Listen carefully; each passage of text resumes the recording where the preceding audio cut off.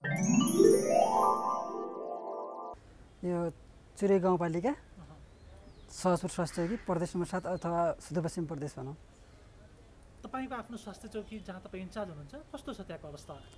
स्वास्थ्य चौकीको अवस्था र अब अहिलेको यहाँ हामीलाई वासफिट टुलले जुन चाहिँ हामीले यहाँ टटमा सिक्ने पायौँ होइन त्यसमा त धेरै नै भिन्नता जस्तो लाग्यो यहाँ आएर। हामीले त राम्रै गरिरहेको जस्तो लागेको थियो तर त्यस कुरामा धेरै कुराहरू सुधार गर्नुपर्ने देखियो। जस्तै खानेपानीको अब पहुँच कतिको हुनुपर्छ अनि त्यो पहुँच भइसके पछाडि अब सुधारिएको खानेपानी भने के हो? अनि त्यसलाई कसरी शुद्धिकरण गर्ने? अनि त्यो कम्युनिटीसम्म कसरी पुर्याउन सकिन्छ र त्यसले चाहिँ के के कुरामा सुधार गर्छ भन्ने कुरा जो चाहिँ प्रयोगमा आज सिक्न पाइयो होइन। तर त्यहाँ चाहिँ हाम्रो खासमा के छ भने पानीको समस्या नै छ।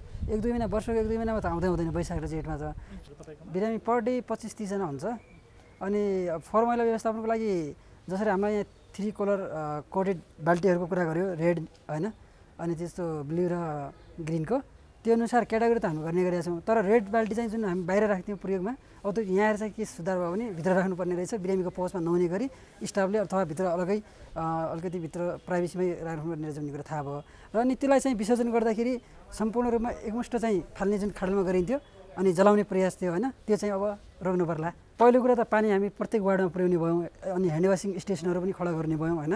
दोस्रो कुरा चाहिँ अब हाइजिनको कुरामा जो चाहिँ ह्यान्ड वासिङमा चाहिँ साबुन त हामी राख्छौँ तर उनीहरूले त्यति गरे आउँदैन क्या। त्यहाँ चित्रसहित अति प्रष्ट राखिदियो भने त्यो पनि हुन्छ। अनि तेस्रो कुरा चाहिँ अब सेनिटेसनको कुरामा अलि यहाँ आएर थाहा भयो कि सेवामैत्री शौचालय र बालमैत्री हुनु पऱ्यो अपाङ्ग मैत्री हुनु पऱ्यो महिला पुरुषको लागि छुट्टै हुनु पऱ्यो भन्ने प्रयास छ। त्यो पनि बिस्तारै हामी गर्दै जानेछौँ।